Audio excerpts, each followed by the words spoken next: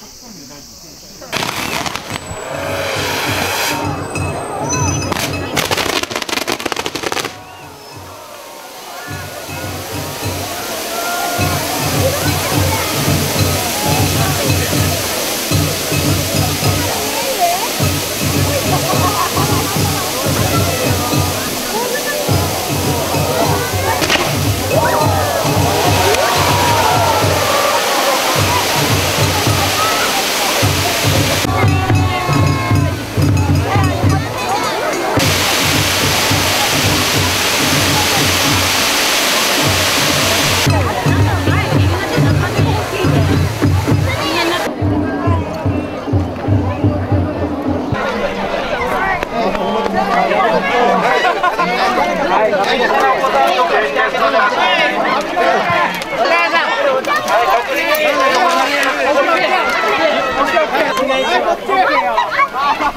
い、ご苦労様でした。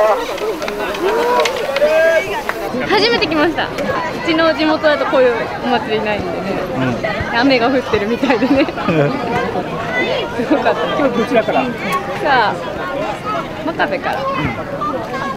初めてなんです。あのとても華やかで風情があって綺麗でした。感激しました。あいや毎年楽しみにしています。あの花火もすごく綺麗で子どもたちもすごく喜んでるんで、うん、楽しみにはい来てます。